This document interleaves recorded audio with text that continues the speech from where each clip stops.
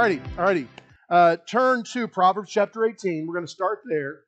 Um, Holy Spirit spoke to me. I, I, guess it had to be about about a month, maybe two ago, and um, and he just, I, I don't know what it was. I don't know. I think it's just one of those things that you, you're you're praying about things, and the Holy Spirit just kind of shows up uh, and, and, says something like this. But uh, he said, "My people don't really believe me uh, that the words of their mouth matter." Because if they did, they'd change the words of their mouth. Um, they've heard it, but they don't really believe it. Um, and uh, or, or, they or they don't really want to change. In other words, it would be easier to complain than take responsibility for for doing it myself, right? And, and again, I, I, know I know some of us are going, well, Pastor Thad, not not me. But I know, I mean, I've had several people come up to me and go, you know, uh, yeah, you're if you're not talking to anybody else, I, have not taken it as seriously as I should have. Um, and and so after that, I was kind of like, okay. Um, and again, and again, before anybody sits there and thinks, oh, Pastor Thad heard us talking and he's he's mad at us or whatever, uh, God talks to me before he talks to you. And so it's, it's things that I have to make sure that I, I'm doing correctly. And, um, and, and so, so he, he said, I want you to get going on this. And he said, yeah, I'll tell you, you know, when, you, when you've taught it enough, it'll be enough. Um, so I don't know how long we're going to be talking about the words of your mouth and the importance of it. Um, but uh, we're going to for a while at least, I guess. Um, but you are living today the words that you spoke yesterday, and that's not just a cliche. It's it's the truth of the Word of God. Um, it, it, tells us there in Proverbs chapter 18. I'm just going to read verse 20 and 21. I guess this can become our springboard verse. Um, uh, now, now the first two weeks we, we, we springboard with John 10:10, 10, just to really bring out that point that God wants us blessed.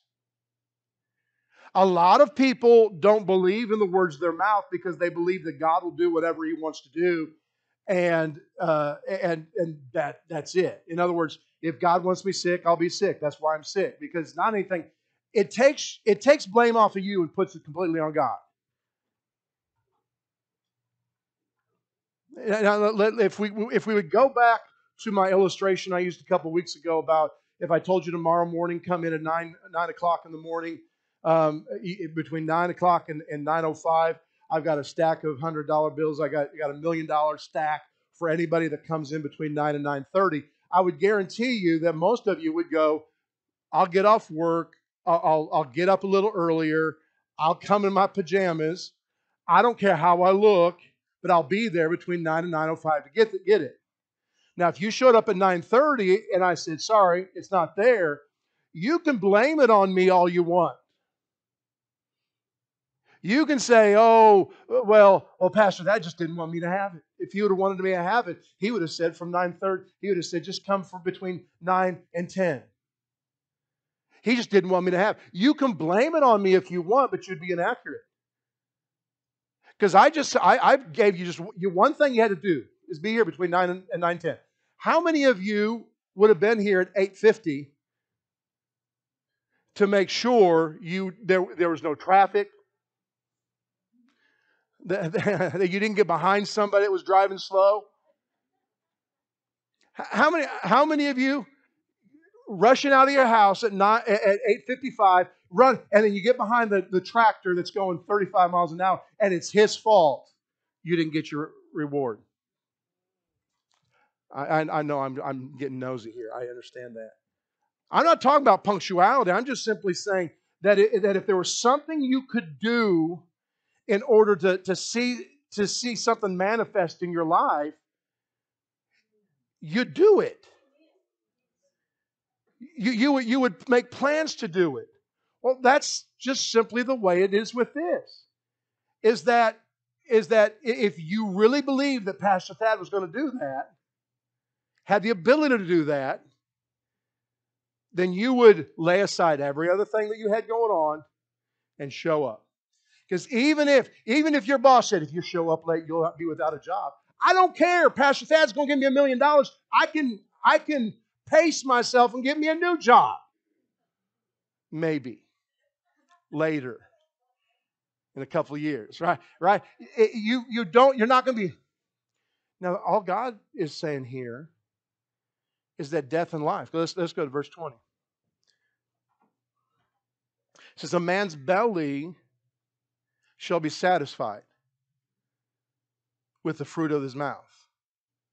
What comes off out of his mouth? Remember, he told the disciples, he said, It's not what goes in the man's mouth that defiles a man, it's what comes out of his mouth. So that's what he's talking about here. He's not saying, listen, he's not saying here, and I understand what you're saying, but the fruit of something is the produce of something, not the intake of something. Are you with me? The fruit of a tree isn't the fertilizer that went in the soil, it's the apples that appear on it.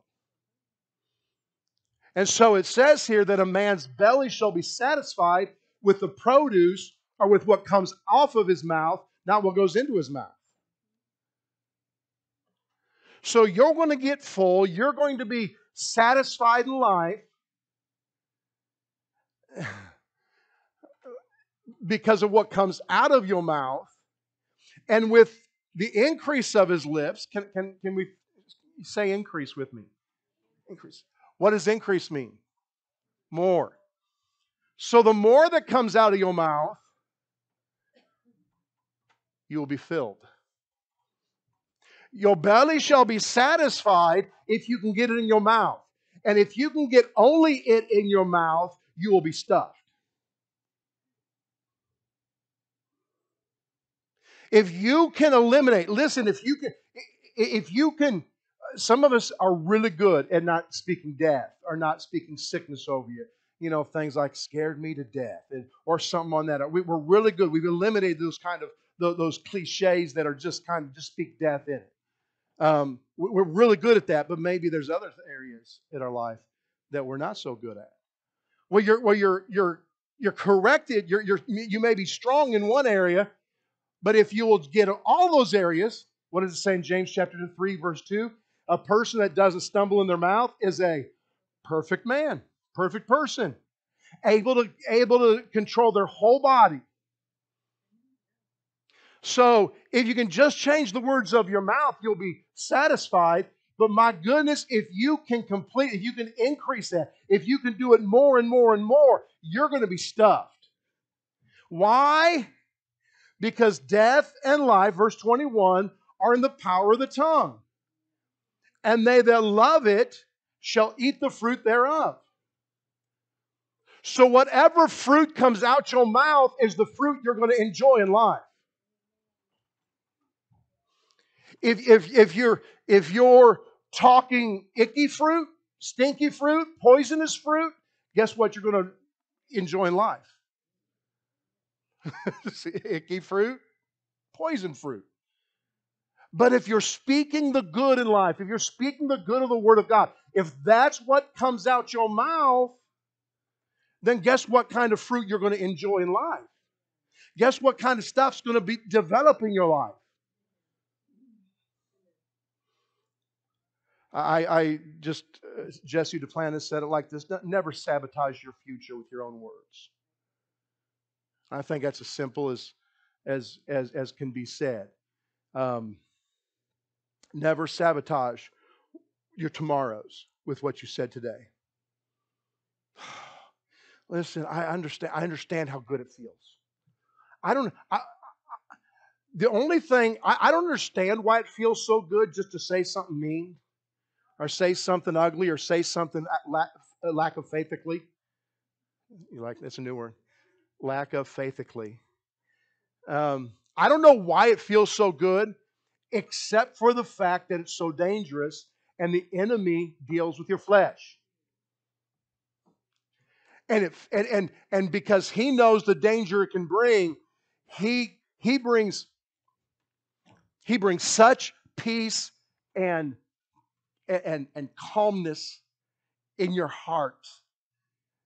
It's just like, it's like, uh, you know, I've not been saying this, but Okay, I'm just eh, allergies just eat me up. They overwhelm me. They, they overtake me. Every this time every year, this time every year, I, my nose is running. My, I'm I'm snotting it up. I'm snarling up. I'm clogged up. I got to stick stick stuff, squirt stuff up. This I got to do this. Isn't it frustrating for you? And inside you're going, Ooh. But guess what? Fruit you're you, you're you're planting.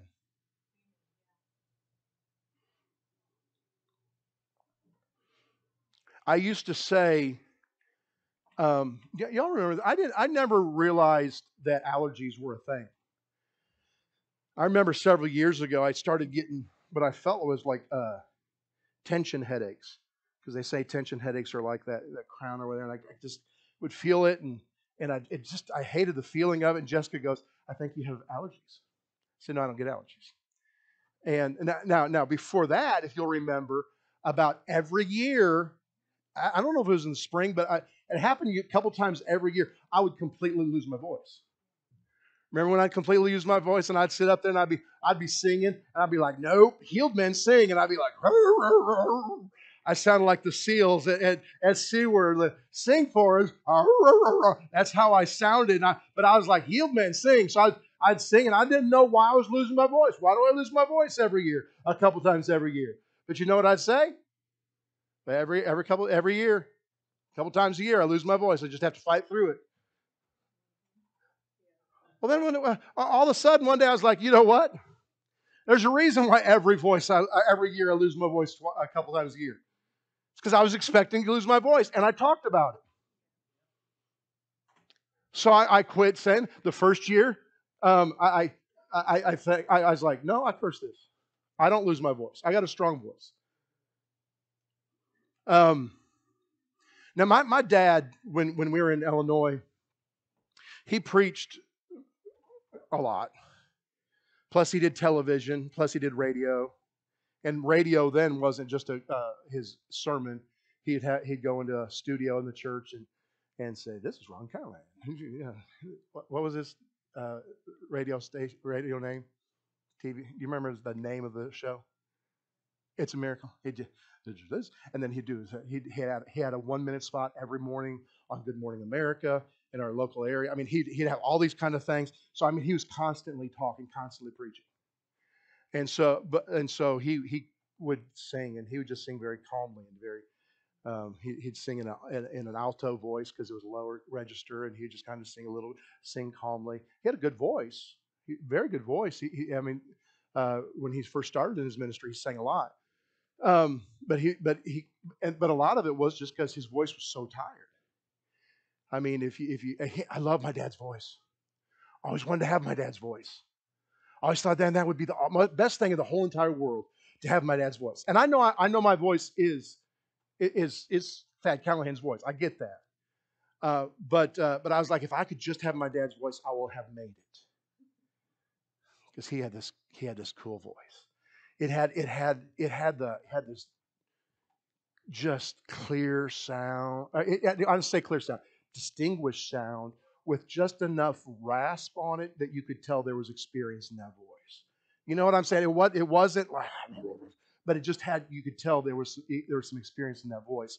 Um, and I just thought that'd be the good. Uh, one one I've told you the story before. One day I, I I found a CD that was blank, and I was like, I wonder what's on there, and I put it in, and I go, oh, it's Dad's sermon. That's cool. I'll listen to it for a while. And so I, am listening to it for a while, and I'm going, man, this guy's good. This guy can flat out teach. I was getting so blessed by his sermon, and I and I was going, and then all of a sudden he started talking about something that happened to him one time earlier in his ministry, and uh, I was like, that is really weird. I'd never heard that him tell that story, but that happened to me when I was in my ministry. And then he goes on a little bit further, and I'm really kind of weird. I confused that it took me this long to figure it out because I was well into the sermon. It, it, was when he finally started talking about his wife Jessica that I realized, hold it a second. Dad don't have a wife Jessica.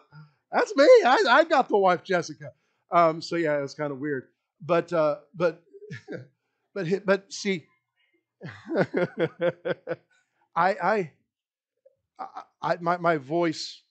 I, I, I don't I don't cut back on singing The only time that I remember this year that I cut back, I know some of y'all going, maybe you should cut it. The only time this year I remember cutting back on on, on my singing uh, was the as a Wednesday night that Sister Ruth came in and she was in the middle of that fighting that headache, and I knew she was doing everything she could to sit there. So instead of instead of singing from here, I just sang very gently, controlled.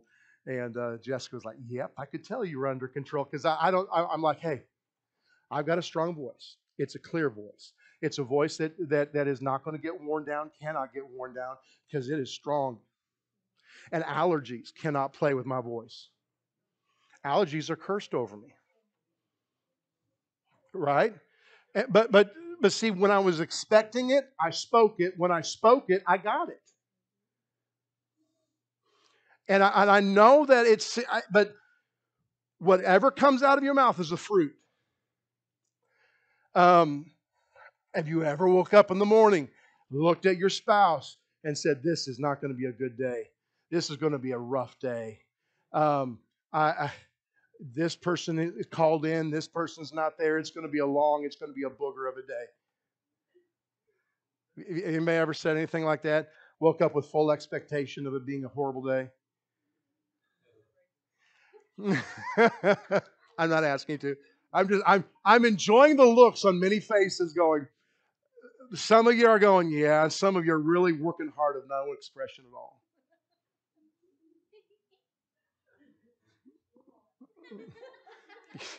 your, your face is twitching. um, but now I know some of y'all might be going, uh, well, it surprised me that it, how, how good it was. But most of you are going, it turned out to be a really rough day. But you woke up and you, paint, you, you told the day what it was going to be. You already told it it was going to be long and it was going to be hard and it was going to be frustrating. Get up in the morning, paint your day. This is the day that the Lord has made. I will rejoice and be glad in it. He daily, just find those scriptures. He daily, t- is today a day? Yep. Well, then he daily loads me with benefits. I mean, we, you just keep going on that. I made her mad. I'm just kidding. I'm kidding.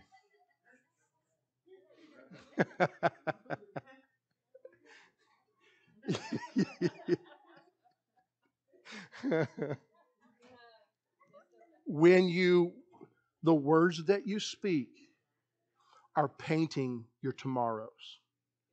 You may get by with it for a little while. I'm, again, some people say, What do you mean get by with it? In other words, you may, by your willpower, work hard enough to overcome certain things. And for a little while, you could you may be able to dodge what you've been what you're creating with your mouth. Um, if if I planted a, a, a, cherry tree and I put the seed in the ground, um, there could be a lot of days that I. Let's think of it like this. Um, my wife loves to plant things. And I'm okay with it when she plants it in the flower beds. I mean, seriously, my wife has the greenest thumb of anybody I know. Her mama had a green thumb, and Jessica is second generation green thumb. I mean, she she is really good with with plants. But sometimes she gets really ambitious and will plant a tree or plant something out in the middle of, of the grass where I mow. Anybody that mows a lot knows it's really fun just to sit it on cruise and just go in a straight line. And, and when those trees get in the way, it's kind of like, and, and, and, so sometimes she'll plant think, well, see, if it's planted under the ground, you can have mercy for a while. You can mow up closely and, and, and not destroy the crop, what's been planted. But when it starts to spring up, that, that's when you, you try to cut in close and you get too close and you just end up cutting off the top of it. You keep cutting down what God wants to do by the words that you spoke. In other words, you may get by with it for a little while without, without cutting it down, but there's going to come a time where it's chopped down. And, and, and, you're, and you sit there and go, why? We go back to, to the illustration I used earlier uh, uh about, uh, about the, uh, the, the, the hole in your roof.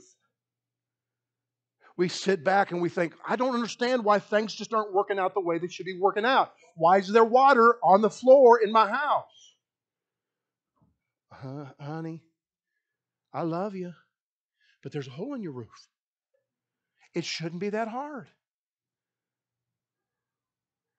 You need to clog up the hole. And beloved, so many Christians go go there just go day after day and, and again they change their theology because they have to blame God for the for the water in their ground when it's just a hole. They need to clog up and they need to start getting the right words in their mouth start speaking the right things over their life. Um, go over to isaiah 57 God created us in Genesis chapter, chapter 1. He created us in His image. We all, we all understand that, correct? In other words, He said, Let us make man in our image. And so, in their image, He created man. Which, beloved, uh, it's an interesting thing uh, because you understand that angels got booted out of heaven for doing things that men have done, do all the time. It's it, I know I know it's it's weird, but uh, but but when when he said, "I'm going to do this," when Lucifer said, "I'm going to do this," I'm going to do that. Beloved, can I ask you a question? In all due love, you don't have to answer me again. When was the last time that you made a decision without God's input, without being directed by the Holy Spirit? That's all the angels were doing. That's all he was doing was, and, and I understand, but he said he was going to take the throne, that he was going to ascend to the mountaintop. He's going to do. What do you think we're doing when we, when we think that our opinion matters more than God's? God, uh, God, God understands that, that I don't have enough money to tithe, so I'm not going to bring my tithe into the storehouse. How many here are grateful for God's forgiveness of those times where you decided that, that you knew better than he did.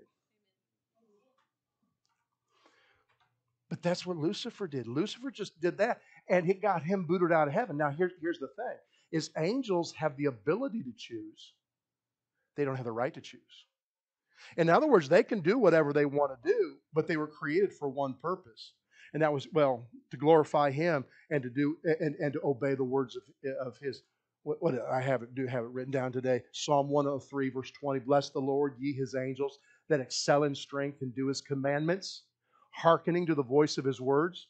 So they have one, they have two jobs. One is to glorify him and to praise him, and the other is to respond to his word, his word when it's spoken. And that's it. They don't have the when they choose to do on their own.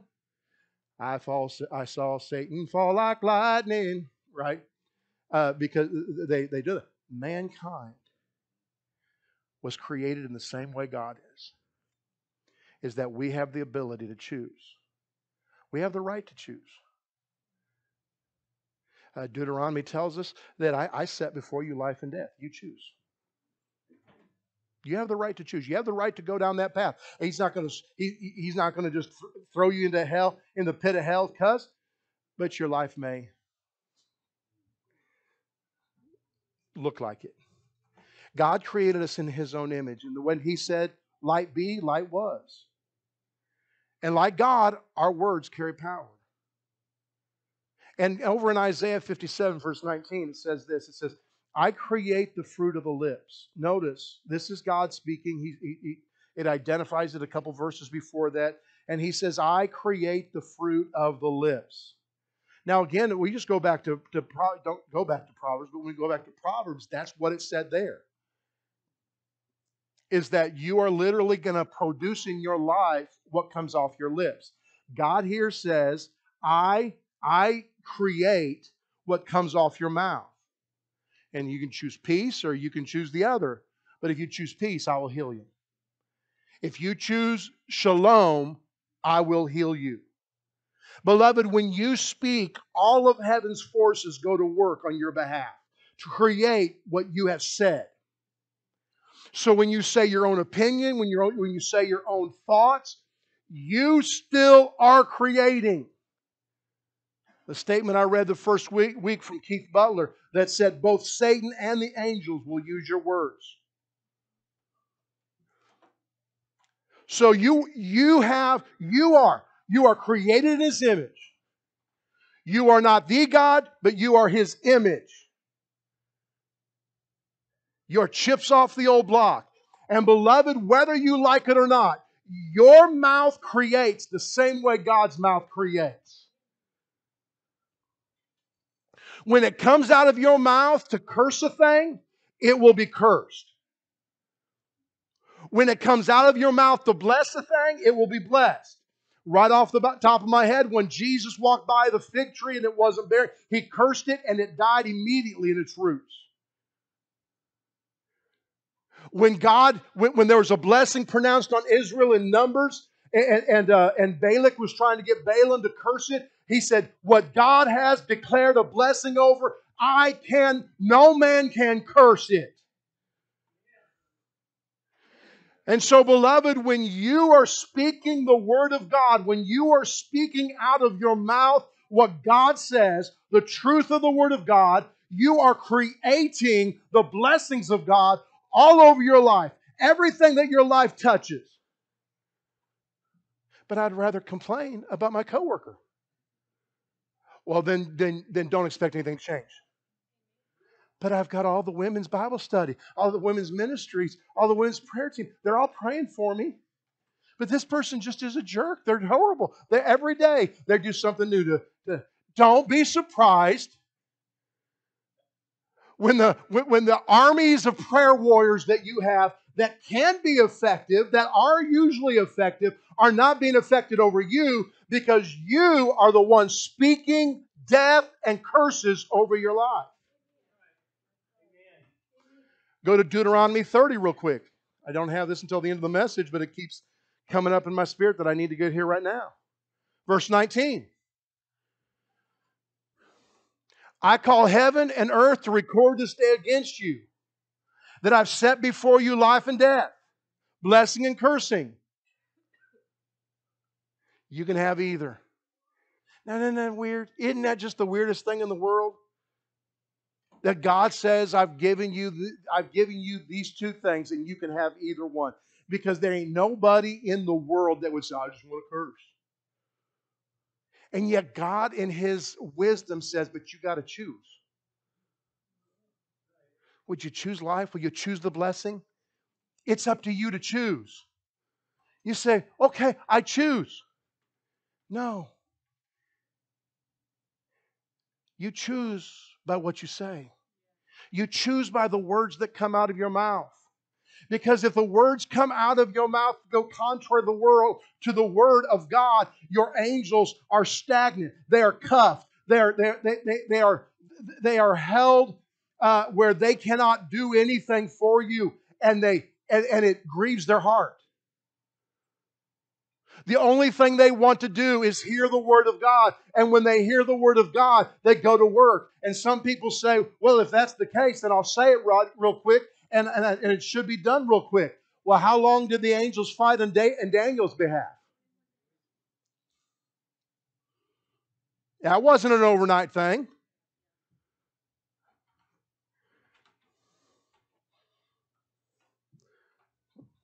You choose. How do we choose, Pastor Thad? You choose by the words of your mouth. That's why it shouldn't surprise us that this is one of the most difficult areas for us to master. That's why James literally says that, man, we can tame all sorts of animals. But, but the mouth is untamable. But it's untamable by man. It's literally he says he's man, man can tame. You don't have to have spiritual insight to tame a dog or to tame a horse or, or, or whatever. You don't have to have spiritual insight for that. A man can do that, but a man in his flesh cannot take care of the tongue. But a man who has yielded his tongue, yielded his words over to the, to the ways of God, to the word of God, that person now has the ability to, to, to create in his life peace and shalom. Nothing missing, nothing broken. Absolute fullness of life. But you've got to take care of your mouth.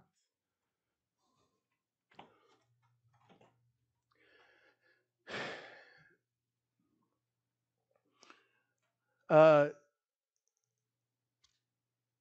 there was a uh, man who attended the church that Sherry and I grew up with in in Illinois, and um, I remember him.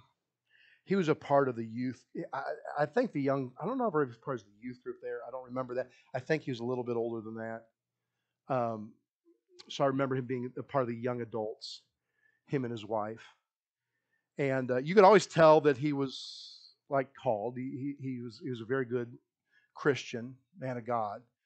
Um, and and when we uh, when we moved down here, of course, we lost track of a lot of the people that were in Illinois. Uh, those were long before the days of social media. Uh, there's so many of them that you know social media has helped me get back in touch with. I think y'all probably would say similar things. Um, but but several years ago, um, he got in contact with my dad. His name was Harold Eatman. His, it is Harold Eatman. He passed away a couple years ago during the COVID uh, thing. Um, but uh, but he got in contact with my dad to let my dad know what he was doing, and apparently he uh, uh he developed or, or, I guess developed is a safe word, um, a, a powerful prophetic ministry where where the Lord would show him things, and and, and I mean he would. There were several uh, national, international things that that uh, the Lord would show him, and and made people money or lost people money if they didn't believe it. That's why I guess uh, Chronicles says, "Believe your prophets, so shall you prosper." Um, but uh, but after he got back in touch with my dad, uh, I I think my dad went and spoke for him. I don't know how that was, but finally, my dad had him come to Grace Lexington, and um, and it was it was funny. It was it was entertaining uh, to watch uh, him come in very confident in his gift, um, and then you got people. He had sibling rivalries happen with my dad uh, of the of the. It was it was funny, but it was interesting when people began understanding the accuracy behind his prophecies. How many people would come and they'd be they'd, they'd, they'd just pray, they'd hope, they'd hope. Oh, please, please speak over me. I want to know what's going to happen in my life. If he will speak over me and tell me something good, that'll make me happy in my life because I know that it, it will be. I mean, uh, I know Sherry and Mike are, are two that that he spoke over many times. Um, I only, I think I only sat in one service. He spoke over us. Um, I wished I would have, I'd have kept the tape. Uh, I, I, I just lost it somehow. I remember parts of it, um, but I know Sherry and Mike are ones that go, yeah, he's like the only prophet I've we've ever had that when he spoke over us, it comes to pass. Um, and um, he was one that that Sherry and Mike called on uh, shortly after Dad passed away for for insight. Um, but he, but he, people would get in his service and be like, "Man, I hope he, I hope he preaches over or speaks over me. Oh, call me out, call me out." And, and of course, there's always the ones that are like, "Please don't talk to me about don't say anything about me, please. I've had it a secret this far. I don't want it to ruin now. Um, but uh, but he he just he'd call out. He'd call them out, and people would be like, "Oh, what's what's God going to say about my tomorrows?" Because they wanted to hear the prophet speak to know what was coming. Um, 2020, 2019, 2020 in that area. I guess it's 2020 uh, during the uh, presidential election. Um, I think I think prophets came out of the woodwork. And um, I, I, I know no prophet. I know no prophet. I can know no prophet that said Biden was going to win. I, I, don't know. Some y'all might have some. That, that that's good. I, would hold close to that person. Um, but but how many of those prophets did we sit and cling to their words? Even you know, especially after election day, when, the, when it was like, it's like, you said they were gonna uh, that Trump was gonna be president, and we sat there and it's like, if that dude, if that guy can will just say that that everything is gonna be okay, and that and that President Trump's still gonna be president, if we if he'll just say that, that's gonna calm me down because I know the prophet's gonna speak what's gonna come, and and it's gonna be okay if we can just hear the prophet say it. Now, there's a lot of prophets I believe that do need Uh, there's there's several that are still saying, yeah, Trump's going to become president. Hold on till 2020, you know, 2024. It may. Be um, I'll, I'll remain quiet about that. Um, but we would turn them on. We turn them on YouTube. We turn, turn them on Christian TV. Um, and, and, all we wanted them to was to tell us something good so that we knew that tomorrows were going to be good. Now, now again, the prophetic gift is one. Uh, I, we go back to um, when, when, when Paul, the Apostle Paul, came across to go back to Jerusalem, and, and, and we had those that were uh, prayer warriors that the Holy Spirit was giving insight into what was to come, and they kept begging Paul not to go to Jerusalem. Remember that? And and uh, and, and Paul was like, "Don't tell me that, man. I got to go to Jerusalem. It's it's what's inside of me." But they begged him because that but that's not your job. When you're a prayer warrior and God God shows you something, your job is to what? Pray. Pray protection, Pray, pray for help. Pray for what, whatever he needs, wisdom, whatever he needs. Your job is not to tell somebody not to do something. And then they, he went to Philip's daughters, and there were there were four virgins who uh, who did prophesy. In other words, they had they had uh, um, the gift the gift of uh, yeah the gift the spiritual gift of prophecy. So they would base they were encouragers. But then he had uh, is uh, Ant- Antibus, something like that. I, I, I, mess up that name sometimes. Uh, who came and he was a prophet. And he said, This is what's going to happen to whoever wears this belt when they go to Jerusalem. That was all. Paul went to Jerusalem expecting something because the prophet spoke it to come.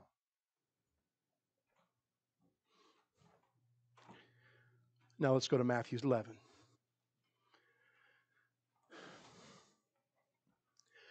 Paul was not really surprised.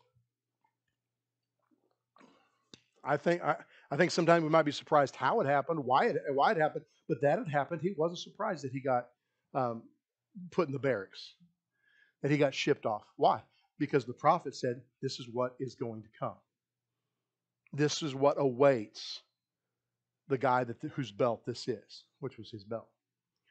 Um, but see, that's that's us. We want to hear the prophetic voice. Because if we'll hear the prophetic voice, we will know what's coming around the corner. Go over here. Look, look, check this out. Matthew chapter 11, verse 7. And as they departed, Jesus began to say unto the multitudes concerning John, John the Baptist, uh, What went you out to the wilderness to see? A reed shaken with the wind. Um, but what went you out to see? A man clothed in soft raiment. Behold, they were uh, they that wear soft clothing are in the king's houses. What did you go out to see? A prophet? Yes. I say unto you, and more than a prophet. Uh, the amplified version on that one. In other words, when they went out there, what are you expecting to see when you saw John? You know, this dude, this polished dude, or you just a prophet, someone that spoke what God said? Spoke what was to come, right? The Amplified version of, of verse 9 says, uh, What did you go out to see? A prophet? Yeah. I tell you, and one out of the common, more eminent, more remarkable, and superior to a prophet. In other words, what, what the next verse will, will well, next verse says, um, well, verse 11, among women, there were no prophets that even matched up to John the Baptist. John the Baptist came and he said, and he was preaching that there's one coming. There's one coming on the scene. Behold, when Jesus came to be baptized. In, in other words, he was see what's come. People heard what was to come. People would expect out of his mouth. That's why they would listen to him. And in verse 11, it says, um, it says, among them that are born of women, there has not risen a greater than John the Baptist. He is the greatest prophet but then notice that last phrase. Notwithstanding, he that is least in the kingdom of heaven is greater than him. Now, I want you to see this here. He's talking about a man who was a prophet. The thing that the thing that identified John the Baptist was that he was a prophet. And now he says, He that is in the kingdom of heaven, not a prophet that's in the kingdom of heaven, just whoever's in the kingdom of heaven, and the least person in the kingdom of heaven is greater than he, than greater than John the Baptist. Now I'm going to say this, and then I'll, I'll, I'll, bring out the point that I really want to get here. You and I were born under a, uh, under a new covenant, a covenant better and more powerful than the old covenant in which John the Baptist was uh, operated and other prophets operated. Our covenant is more powerful because Jesus died, went to hell, defeated death, death hell, and the grave. Um, and that same anointing that he operated under to defeat death, hell, and grave now abides in us. We are, we are now the body of that anointing. We now house the anoint, the very anointing that Jesus took down in, in, into, into uh, Hades to defeat Satan on his turf. That same anointing now dwells in us. How much more power relies in us than on prophets that would the Spirit would come upon at times? How much more power resides in us, through us, day in and day out? And I love the fact that what Jesus is talking about here is John the Baptist as a prophet in context. He's saying, You went to see a prophet, and now he that is least in the kingdom of God has more authority, more power than what John the Baptist did. I'm going to make this statement. I, I, can't, I can't take ownership of it, but I ain't telling you anything else. So all, the only person you can quote is me. You and I are the greatest prophets over our own lives. you and I, we, we, you can go searching for it. You can search high and low for someone who will prophesy over me a good prophet prophecy. But beloved, if you'll just change the way you speak, you are prophesying your tomorrows. If you start speaking healing over your body, you don't need to go to a prophet and, and him go, I can see you running a marathon. You speak over your body and start exercising you speak over your body, you let it come out of your mouth, and you are prophesying your tomorrow. And because the anointing that dwells in you, it is greater than any Old Testament prophet could ever operate in.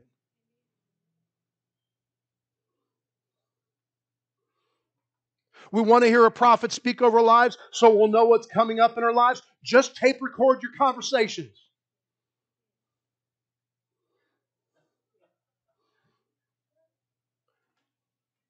the, the cool thing about I remember Jerry Savelle talking about that, where he was so angry because because Kenneth Copeland's ministry was taking off, was going good, and then all he was stuck was in debt, never had enough, was in his little house, uh, was was frustrated, and he's like, "Lord, what's the problem?"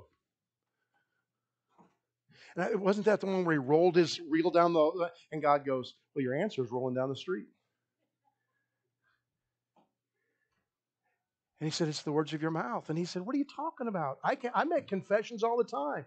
And then all of a sudden, the Holy Spirit is like it turned on a, a tape player and started playing in his mind all the little things he says throughout the day that was prophesying hard times. Listen, folks, let, let, let, me, let, me, let me say it to you like this. You may look at it just words of your mouth. But if you will change the concept of what's coming out of your mouth, and, and instead of just words, call it a prophecy.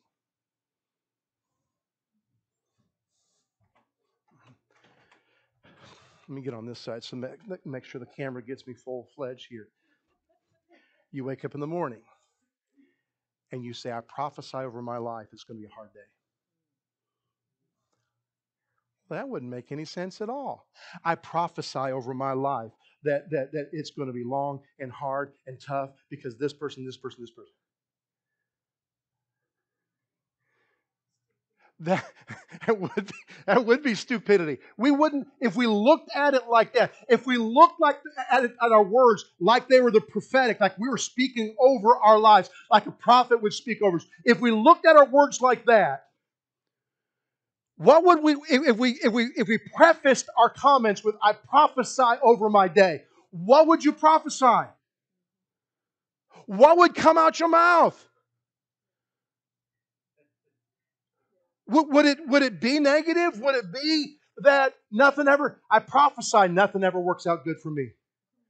I prophesy that that, that the more I try, the, the, the further I get from my destination.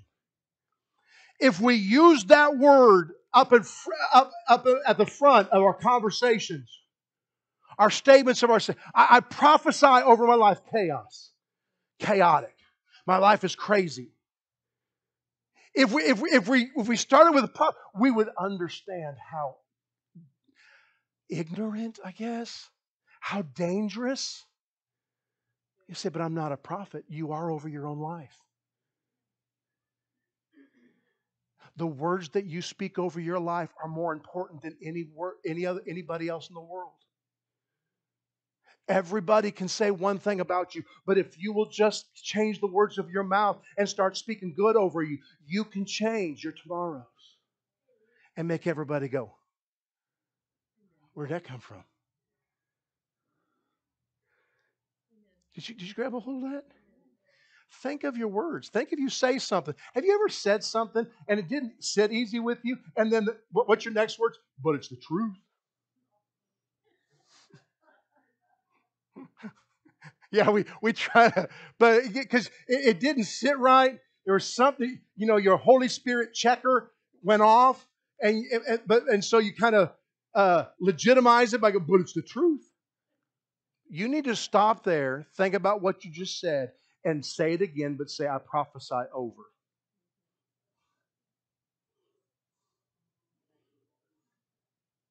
Because that's literally what you're doing. Truth or not.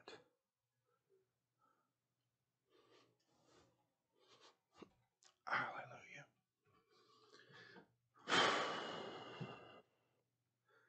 Goodness gracious, where are we at here? Okay. You and I are the greatest prophets over our own lives. You have what you say. That's the more powerful word, and it will come to pass. Often we speak. Uh,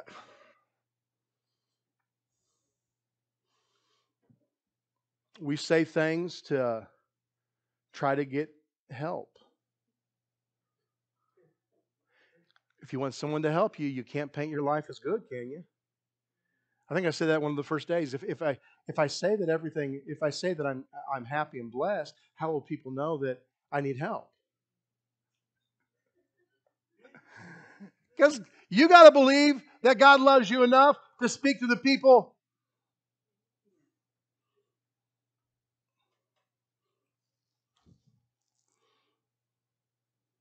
I'm believing for this. I've set my faith on a new car.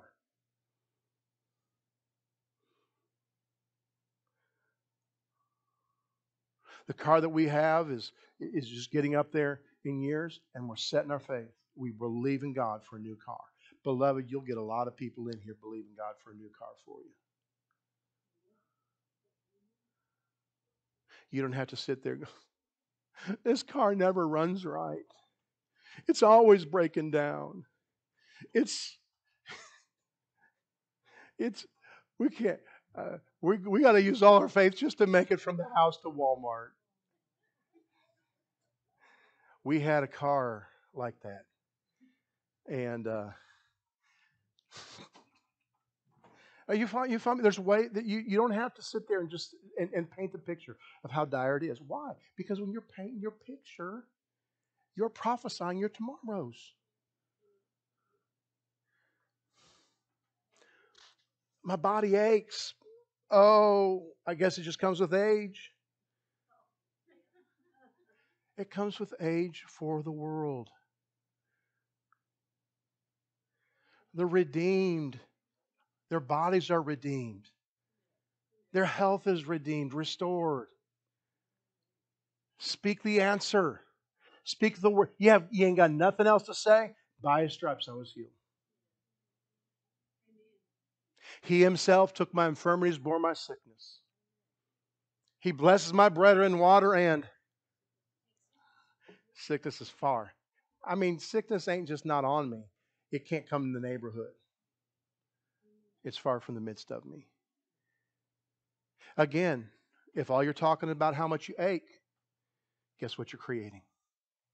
Fruit of your lips. You're a creator. Say that. Say, I'm a creator. The words I speak are creating in my life, whether I like it or not. oh, Pastor, why'd you have to throw that on there? As a, they are.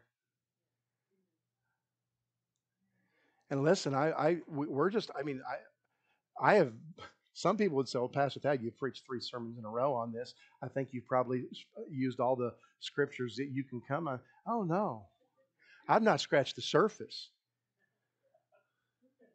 I don't know. By the end of this, maybe maybe by the end of this series, I'll, I'll be able to have gotten almost all of them. But I, I don't think I can get all of them even in this series.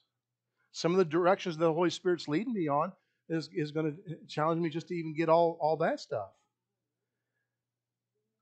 well, I don't want to get in all this stuff. This is all get in your business.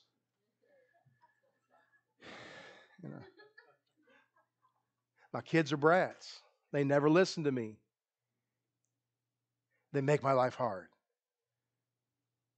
Guess what you're creating more of? I um, I'm remembered of a um, story my dad tells, an account that he tells of an interview that he saw on TV of a lady who um, her husband and her were evangelists, and uh, she was on a talk show on one of the Christian channels. Um, but she said when, when she first got born again, her husband wanted no, no, nothing of it. Nothing. Uh, she no. He was like, I don't, I don't, I, I don't know if he was an atheist, but he just had nothing. He he liked his beer, he liked his stuff, and uh, and so he should go to church. When she'd go to church, um, people would come up to her and go, "Hi," you know, they'd meet her. Where's your husband at? Well, she she had gotten a, she wasn't going to say, "Well, he's at home. He's a sinner. He's a heathen," because all he all you're painting is that he's a sinner. He's a heathen. So she would say, "Oh, my husband, he's an evangelist. He travels up and down uh, up and down the country, uh, preaching the word of God, seeing miracles." That's all she'd say about him. She would never say what she really saw. She'd get home, she was encountered with a drunk. But when, but when she talked about him, it was she was creating, she was prophesying over her future. And again, guess who was sitting next to her that day on that TV show? Her husband. Guess what he did? He was an evangelist. He traveled up and down the country uh, declaring, seeing miracles, all that kind of stuff. It's your choice to what you prophesy. You're going to prophesy life, you're going to prophesy death.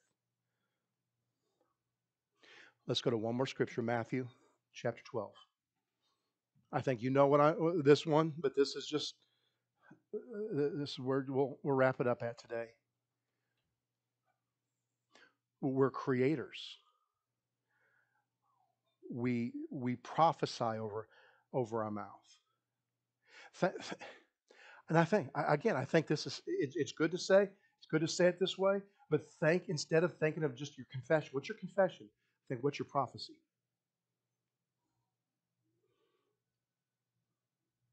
Now, again, the prophetic, the prophetic is about what God says. So I'm not sitting there, sitting there saying, I'm, I'm going to marry a tall, uh, you know, six foot blonde with long legs, and you know, or I'm going to do. You're just you're just like spewing out. I'm going to do this. I'm whatever. Find in the Word of God what you believe, and don't speak anything other than that. Prophesy it.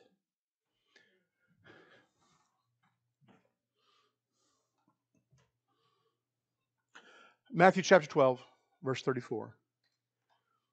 O generation of vipers, how can ye, being evil, speak good things? Flattery. For out of the abundance of the heart the mouth speaks. A good man out of the good treasures of his heart bringeth forth good things out of his mouth. And an evil man out of the evil treasures bringeth forth evil things. But I say unto you this that every idle word that a man shall speak, they shall give an account thereof in the day of judgment. For by thy words you're justified, put in a position to partake of the promises of God, and by your words you'll be condemned. Beloved, it comes down to your words. And again, there's a couple words there in in uh, in chapter 36. The word account is logos, which is spoken word. It's not it's not revealed word. It's not rhema. It's just logos. It, it's the words that you speak. And and the word judgment. So when I get to heaven, God's going to say, "You said a bad thing there on earth," and it's like, "Ah, it's the day of judgment. I'm I'm in trouble now." No, that's under the blood. That day of judgment is, a, is the Greek word K R I S I S. Crisis, I'm guessing it, it, it's pronounced, um, but it is the word we get crisis from. And in other words, this when you can't control your mouth, when you let your mouth say whatever they, you want to say, and it's not lined up with the word, on the day that a situation arises, on a day where you are um, uh, a day, day where the battle rises. Beloved, I'm not, if you get your mouth lined up with the word, I am not telling you that you will never face a battle. But I'm telling you on the day of crisis and that battle arises, you will now have authority. It's been prophesied over already, it's been spoken over already, and the end has already been, been taken care of pain hits your body, you've already prophesied over it. You've already spoken life into that situation. So you all, all you have to do is say a prayer or something like this. No, you don't. Maybe you don't even may know and move on. Because there's authority now in your voice because you've been prophesied over by you. But when you say these blank, empty words, these words that, that, that you think don't matter,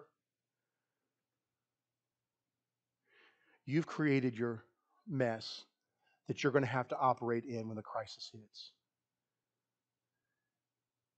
And as much as God's already given you the victory, he said, he said, I've given you, I've given you all things that pertain to life and godliness. You are more than conquerors. He's already called the end from the beginning.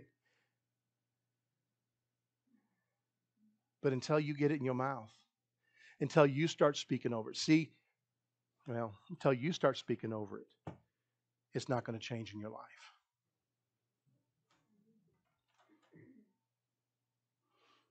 I call heaven and earth to witness against this day. That means I'm stating under the very court courtrooms of heaven and of earth that the ability to choose life or death lies with you. And if you choose it, you'll change the way you talk. You'll speak over your tomorrows with the same conviction that you would listen to a prophet speak on your tomorrows.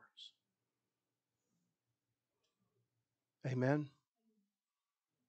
And when the day of crisis hits, you not, I shall not, I shall not be moved because I know what I've spoken already.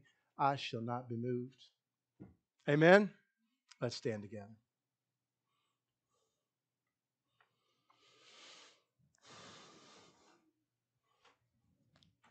I'm not up here. God's not a God, I, and, I'm uh, therefore I can't be up here sitting here going, "Y'all get yourself straightened up and get this, you know, get this how dare you? I because again, this this is a challenge. I, have mentioned this many times, uh, uh, but in Romans 7, um, 18, 19, something like that, Paul says, The good that I want to do, I don't do, and the stuff I don't want to do, I, I do want to do when I'm operating according to my flesh. In um, in, J- in James, where it makes that statement, where it says, No man can control his tongue. That you might look at that and go, That's why are you even preaching this, Pastor Thad, if we're just if we're no, it's that same, it's that same point. No man, you in yourself, it's it's impossible to do. But if you'll live according to your spirit, build your spirit man up. If you will get um, if you'll get that area of your life stronger, then through Him, you can do it. I love, I love, I know, I know. Romans chapter 8 is probably my favorite chapter in the Bible. It's a type verse. But I, I just I love how it reads here, which which is it's talking about this. Chapter seven is about the frustration we have. Why? Because there's a hole in the roof and we can't fix it. We could. Have you ever walked down uh, the aisle at uh, Walmart and they got buckets all over because it's raining? And it's kind of like, well, you just fixed the hole in the roof, but but they put all the natural, well, so it gets natural lighting through there. Just just fix the roof. Quit getting frustrated because you got to buy a bunch. We're going to invest in a ton of buckets instead of just fix the roof. That's what Romans 7's about. It's like I'm trying to live the godly life. I'm trying to live above and not beneath. I'm trying to I'm trying to take care of the hole. I put duct tape up there. Duct tape fixes everything, right? All you need in life is duct tape and WD-40. It fixes everything. I put duct tape up there and it's still leaking. I don't understand it. We got to do the things the right way. You go, my budget. I don't have enough money. My money never lasts to the end. I've got too much week at the end of my paycheck. I don't know what to do. Oh, I'll work overtime. I'll work extra hours. I'll get a job on the weekends. I'll do this. I'll, I'll work extra. Flesh, flesh, man made. And, and then you get there, and then what happens the day, you know, you, you, you're tired. You're worn out. You're fatigued because you're trying to take care of a problem in the fleshly manner. And God's telling us today is that it may seem like your life. You know, I, believe that most of us in here that there's areas of our life, man, that that that that today is so you're just like, thank you, Father. I'm so blessed. But there might be some areas of your life that that seem like it's just a hole in the roof. And you've tried your hardest to get it clogged up, but there's only one way to do it. And that is through your spirit man doing things, being guided, directed, and living by your spirit man, doing what the spirit man tells you to do. For the law of the spirit of life in Christ Jesus had made me free from the law of sin and death. Death can't reign in me anymore. For what the law could not do, and that it was weak, got to do, do, do, do, do. I said, do, do. God sending his only Son in the likeness of sinful flesh, and for sin condemned sin in the flesh. For the righteousness of God for the righteousness of the law might be fulfilled in us who walk not after the flesh, do, do, do, do, do, but after the Spirit. Just rest. Quit stressing over your situation and prophesy over Quit getting annoyed at your, your coworkers. Listen, prophesy over them. And either either they'll become better they'll become better. Or, or if you're prophesying over your work environment, they may have to leave. I don't want them to lose their job. Can't have them both ways, okay? Prophesy over it. I've got, I've got the most peaceful workplace.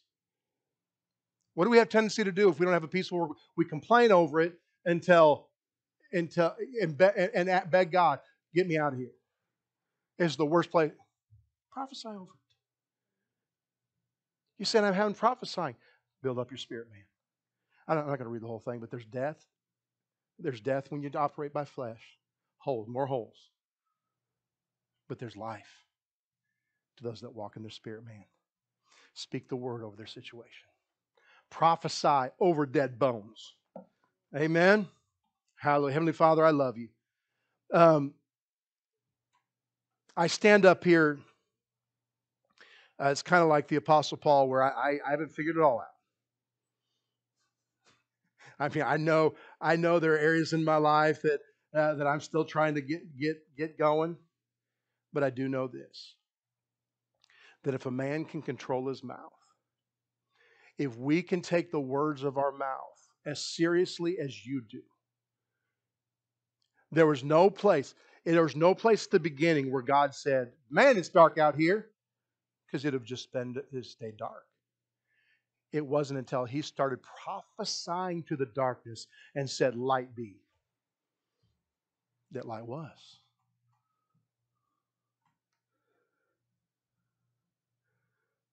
And so, if we'll just simply understand who we are, first of all, that, that's, that, that, is, that is such a major part of it is understanding who we are. We are creators by creation, by, by, by, by the creator of the universe. He created us to be creators after his image. And so the things that we speak are being created. The things that we prophesy will come to pass. And so, if the words of my lips are going to come to pass, I want to make sure that I'm putting my angels to work and not the forces of the enemy. And so, Father, I just, I pray, Father, this morning for my beloved, for your beloved. I pray, Father, for their hearts and the, that, that their, their souls, their spirits, Father, that, that they'll, they'll, they'll have more of a desire and a passion, Father, to, to understand this and, and to carry this point out to watch, their, watch the words of their mouth.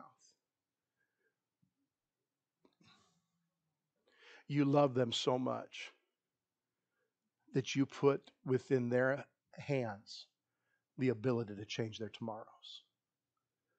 Yes, because of what Jesus did. I'm not arguing that. Yes, because of the power that you've given to the covenants that you broke with us. Yes, that's not a question. But you loved us so much that you said, if you want the blessings, I place it in your hands. The ability for blessing or cursing is in your hands. It's not anybody else's hands. What, what did your parents say to you as a kid? That means nothing compared to what you're speaking of yourself today.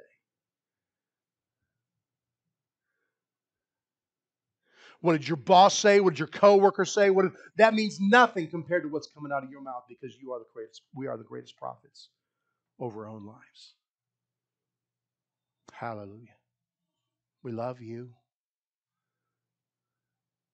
In Jesus' name.